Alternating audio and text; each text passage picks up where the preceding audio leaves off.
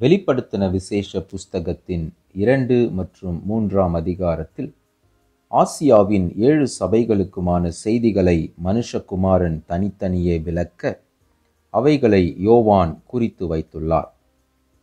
இந்த ஏழு சபைகளும் சின்ன ஆசியா என்று அந்நாட்களில் அழைக்கப்பட்ட பகுதியில் இருந்த சபைகளாம். பின்னாட்களில் அப்பகுதிகள் துருக்கியர்களால் பிடிக்கப்பட்டு அவர்களுடைய ஆளுகையின் கீழ் வந்த பின்பு இன்று அப்பகுதிகள் துருக்கி என்று அழைக்கப்படுகிறது. வெளிப்படுத்தின விசேஷத்தின் இரண்டு மற்றும் மூன்றாம் அதிகாரத்தை தியானிக்கும் போது ஏன் குறிப்பாக இந்த ஏழு சபைகளுக்கு மட்டும் தேவன் தன் வார்த்தைகளை எழுதினார் என்கிற கேள்வி எழலாம். பூகோள அமைப்பின்படியும் வர்த்தக ரீதியாகவும் அந்நாட்களில் பல பட்டணங்களை இணைக்கிற முக்கிய பகுதிகளில் இந்த ஏழு சபைகளும் அமைந்திருந்தபடியால் இந்த சபைகளுக்கென்று இக்கடிதங்கள் பிரத்யேகமாக எழுதப்பட்டது. இந்த சத்தியங்கள் இந்த சபைகளை சென்றடையும் பட்சத்தில் பிற சபை மக்களுக்கும் இவைகள் கொண்டு செல்லப்படுவதற்கு எளிதாக இருக்கும் என்பதாலேயே குறிப்பாக இந்த ஏழு சபைகள் தெரிந்தெடுக்கப்பட்டன. இந்த ஏழு சபைகளுக்கு மட்டும் இவைகள் எழுதப்பட்டிருந்தாலும் இந்நாட்கள் வரை இருக்கிற எல்லா சபைகளுக்கும் இவைகள் பொருந்தும்.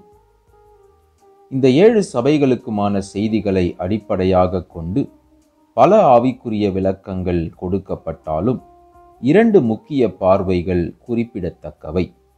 ஒன்று இந்த ஏழு சபைகளும் இன்று வரை உலகில் உள்ள சபைகளின் ஏழு வித்தியாசமான ஆவிக்குரிய நிலைகளை விளக்குகிறது என்று ஒரு சில வேத அறிஞர்கள் கருதுகிறார்கள்.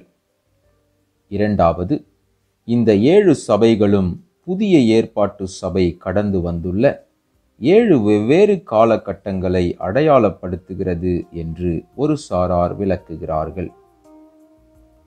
இந்த சபைகளுக்கான செய்திகள் முதல் நூற்றாண்டு தொடங்கி இன்று வரையுள்ள ஏழு காலகட்டங்களை அடையாளப்படுத்துகிறது என்ற இரண்டாவது கருத்தில் பல வேத அறிஞர்கள் முரண்படுகிறார்கள். என்றாலும் இந்த ஏழு சபைகளும் இன்றளவிலும் உள்ள ஏழு வித்தியாசமான ஆவிக்குரிய நிலையில் செயல்பட்டு கொண்டிருக்கிற சபைகளை அடையாளப்படுத்துகிறது என்ற கருத்து பொதுவாக ஏற்றுக்கொள்ளப்பட்ட ஒன்றாகும். இந்த செய்திகளில் சில விஷயங்கள் நுட்பமாய் கவனிக்கப்பட வேண்டியவை. ஒவ்வொரு சபைக்குமான செய்தியின் தொடக்கத்தில் அந்தந்த சபைக்கான செய்தி ஒருமையில் குறிப்பிடப்பட்டு சொல்லப்பட்டிருந்தாலும் முடிவில் ஆவியானவர் சபைகளுக்கு சொல்லுகிறதை என்று பல சபைகளுக்கான செய்திகளாக பன்மையில் முடிவதை காணலாம். எனவே இவைகள் ஏதோ ஒரு தனிப்பட்ட சபைக்கென்று இல்லாமல் அந்த சபைகளின் நிலையில் காணப்படுகிற எல்லா சபைகளுக்கும் எழுதப்பட்ட பொதுவான செய்தியாகும். ஒவ்வொரு செய்தியின் துவக்கத்தில் சபையின் தூதனுக்கு என்று குறிப்பிடப்பட்டுள்ளதை காணலாம். இங்கே குறிப்பிடப்பட்டுள்ள தூதன் என்பது அந்த சபையின் பொறுப்பாளன் அல்லது சபைக்கான செய்திகளை கொண்டு செல்லும் தூதுவன் என்று பொருள்படும்.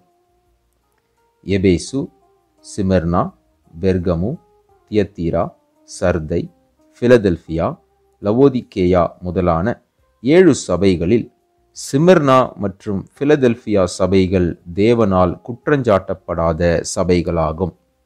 அதிலும் எக்குறையுமின்றி அதிகம் பாராட்டு பெற்ற சபை பிலதெல்பியா சபையாகும். ஒவ்வொரு சபைக்குமான செய்தியை ஆவியானவர் சொல்லும்போது முதலில் தன்னை யார் என்று வெளிப்படுத்துகிறார்?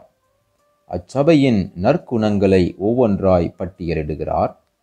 பின்னர் அவர்களுடைய குறைகளை சுட்டிக்காட்டி அவைகளை விட்டு மனம் திரும்ப வேண்டும் என்று எச்சரிக்கிறார். அவ்வாறு மனம் திரும்பாத பட்சத்தில் அவர்களுக்கு நேரிடும் தண்டனையையும் குறிப்பிட்டு ஜெயம் கொள்வோருக்கு வைக்கப்பட்டுள்ள ஆசீர்வாதத்தோடு தன் செய்தியை நிறைவு செய்கிறார். இந்த ஏழு சபைகளுக்கும் சொல்லப்பட்ட செய்தியின் விளக்கங்களை வரும் பகுதிகளில் காணலாம். இணைந்திருங்கள் Bible the word of God வேதாகமத்தை குறித்த எங்களுடைய மற்ற காணொளிகளை எங்களது முகநூல் பக்கத்திலும் யூடியூப் சேனலிலும் நீங்கள் காணலாம்.